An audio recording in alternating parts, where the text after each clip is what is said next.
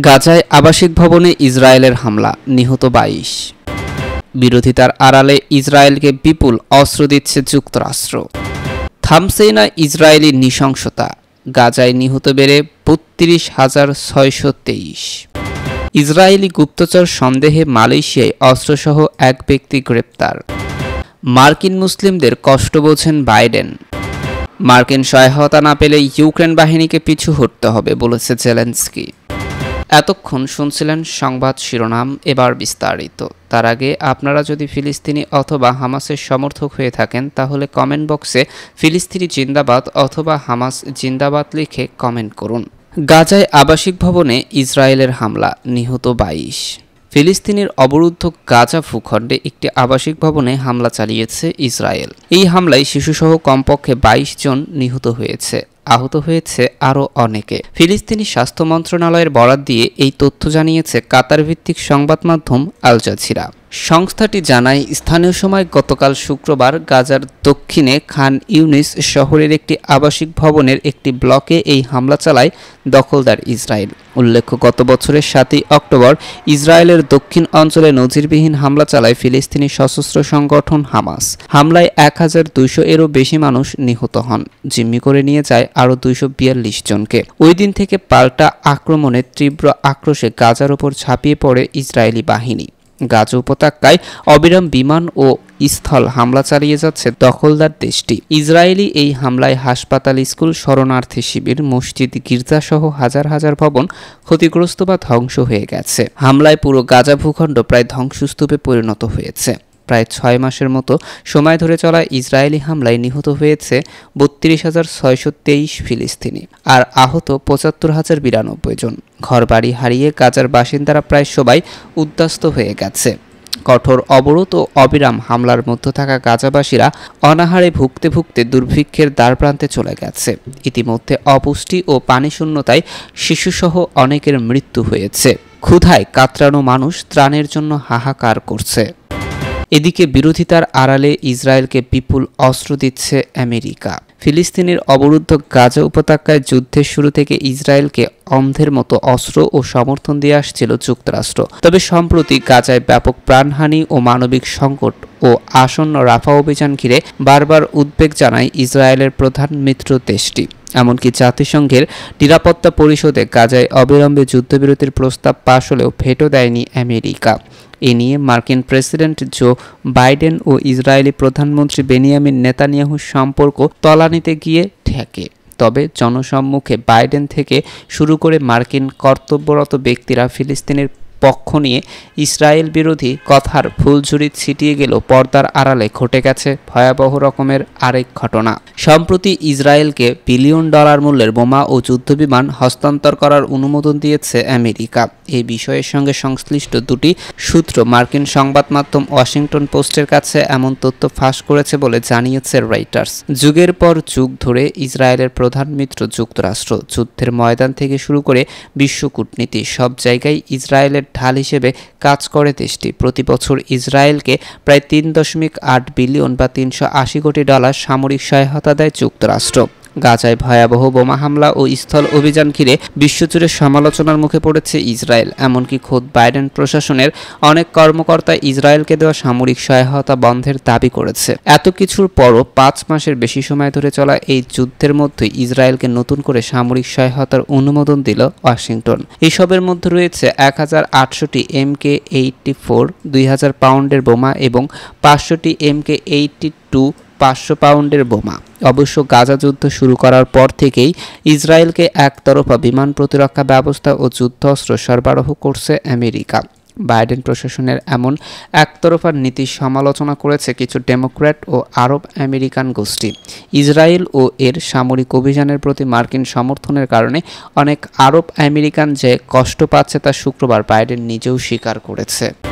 এদিকে থামছে না ইসরায়েল, নৃশংসতায় গাজায় নিহত বেড়ে বত্রিশ হাজার ছয়শো তেইশ। গাজায় লাশের সারি যেন থামছে না। প্রতিদিন সেখানে ইসরায়েলি হামলায় শত শত ফিলিস্তিনি প্রাণ হারাচ্ছে। গাজা জুড়ে ইসরায়েলি বাহিনীর চলমান হামলায় একটি ক্রীড়া কেন্দ্রে পনেরো জন নিহত হয়েছে। সেখানে কয়েক হাজার বাস্তুচ্যুত ফিলিস্তিনি আশ্রয় নিয়েছিল। আন্তর্জাতিক চাপ এবং নানা ধরনের সমালোচনার পরেও যুক্তরাষ্ট্র সরকার ইসরায়েলকে কয়েক বিলিয়ন ডলার মূল্যের বোমা ও যুদ্ধবিমান দিচ্ছে। এদিকে প্যালেস্টাইন রেড ক্রিসেন্ট সোসাইটি জানিয়েছে, গাজার সংঘাত শুরু হওয়ার পর থেকে এখন পর্যন্ত ইসরায়েলি বাহিনীর হামলায় ছাব্বিশ জন কর্মী নিহত হয়েছে। এর মধ্যে পনেরো জন সদস্য রয়েছে, যারা চিকিৎসা সেবা দেওয়ার সময় ইসরায়েলি বাহিনীর লক্ষ্যবস্তুতে পরিণত হয়েছে। গত সাতই অক্টোবর ইসরায়েল সীমান্তে প্রবেশ করে আকস্মিক হামলা চালায় ফিলিস্তিনির স্বাধীনতাকামী সংগঠন হামাস। এরপর থেকেই গাজায় হামলা চালিয়ে যাচ্ছে ইসরায়েল। পাঁচ মাসের বেশি সময় ধরে ইসরায়েলি বাহিনীর হামলায় এখন পর্যন্ত গাজায় বত্রিশ হাজার ছয়শো তেইশ ফিলিস্তিনি প্রাণ হারিয়েছে। এছাড়া আহত হয়েছে আরও পঁচাত্তর হাজার বিরানব্বই জন। এর আগে সিরিয়ার আলেপ্পো প্রদেশে বিমান হামলা চালিয়েছে ইসরায়েল। এতে অন্তত ছত্রিশ সিরীয় সেনা নিহত হয়েছে। যুদ্ধ বিষয়ক একটি পর্যবেক্ষক সংস্থা শুক্রবার এই তথ্য জানায়। ব্রিটেন ভিত্তিক Syrian Observatory for Human Rights জানিয়েছে, লেবাননের সশস্ত্র গোষ্ঠী হিজবুল্লার অধীনে থাকা একটি রকেট ডিপোর কাছে এই হামলা চালানো হয়। এর আগে সিরিয়ায় বিমান হামলায় তেরো জন নিহত হন। তাদের মধ্যে ইরানপন্থী অন্তত নয়জন সদস্য, একজন কমান্ডার ছিলেন। মঙ্গলবার সিরিয়ার পূর্ব অঞ্চলে এই হামলা চালানো হয়। Syrian Observatory for Human Rights জানিয়েছিল, একটি হামলায় ইরানপন্থী নয় যোদ্ধা নিহত হয়েছে। তাদের মধ্যে একজন আইআরজিসির কমান্ডার রয়েছেন। একটি উপত্যকায় তাদের লক্ষ্য করে হামলাটি চালানো হয়েছে। এদিকে ইসরায়েলি অভিযান শুরুর পর লাখ লাখ ফিলিস্তিনি দক্ষিণ গাজার রাফাতে আশ্রয় নেয়। এটি মিশর সীমান্তবর্তী এলাকা। এরই মধ্যে উত্তর ও মধ্য গাজাকে ধ্বংস করেছে ইসরায়েলি বাহিনী। এখন পর্যন্ত সব আন্তর্জাতিক চাপ উপেক্ষা করে রাফায়ও অভিযান চালাবে ইসরায়েল।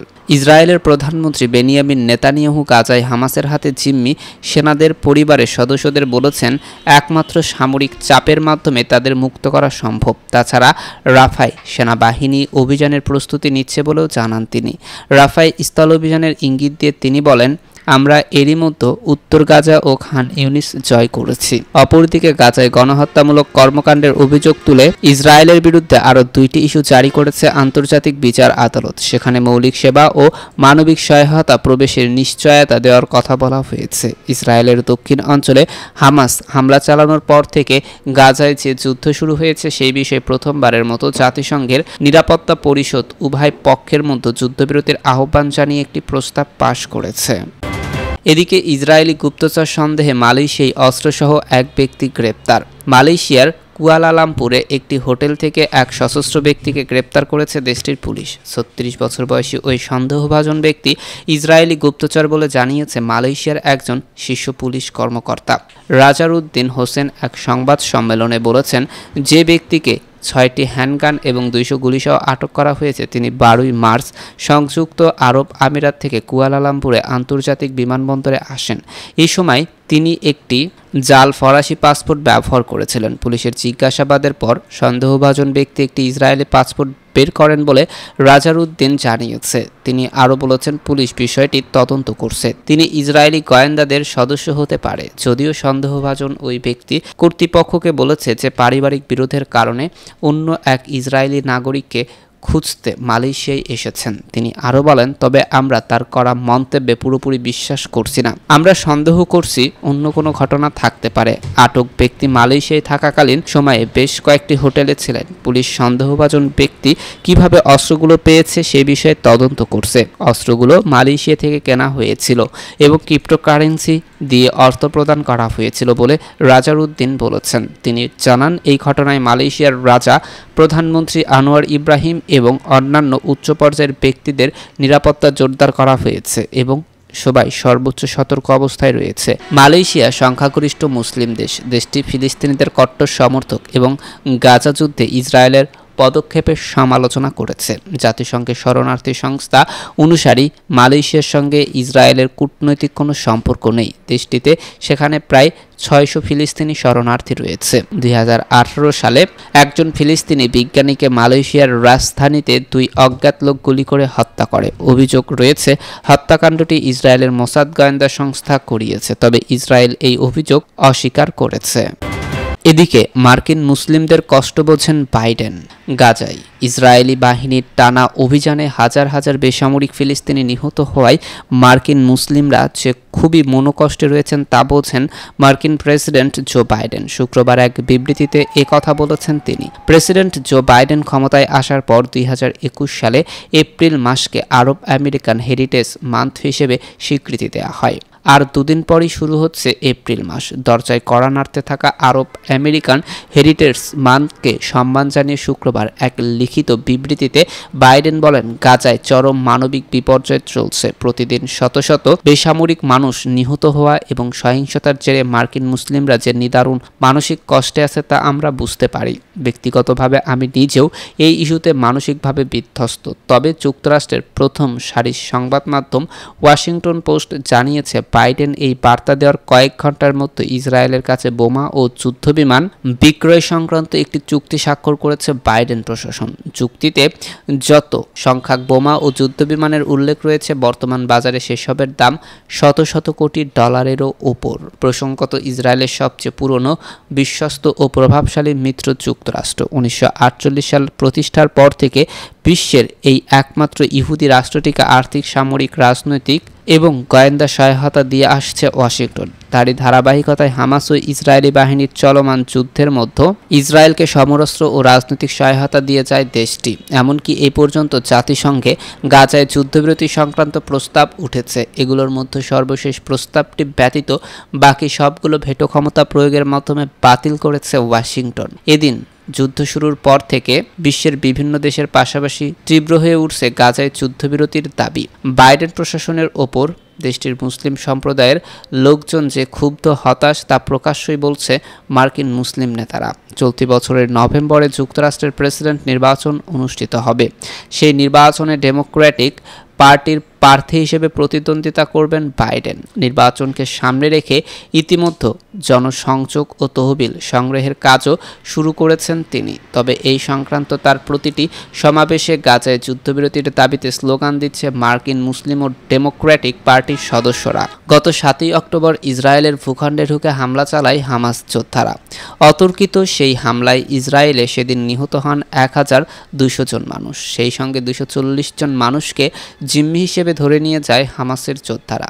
অভূতপূর্ব এই ঘটনার প্রতিক্রিয়ায় সেই দিন থেকেই গাজা উপত্যকায় অভিযান শুরু করে ইসরায়েলি বাহিনী। গত ছয় মাস ধরে চলমান সেই অভিযানে ইতিমধ্যে উপত্যকায় নিহত হয়েছে বত্রিশ হাজারের বেশি ফিলিস্তিনি। আহতের সংখ্যা ছাড়িয়েছে চুয়াত্তর হাজার। সেই সঙ্গে বাড়িঘর হারিয়ে বাস্তুচ্যুত হয়েছেন লাখ লাখ মানুষ।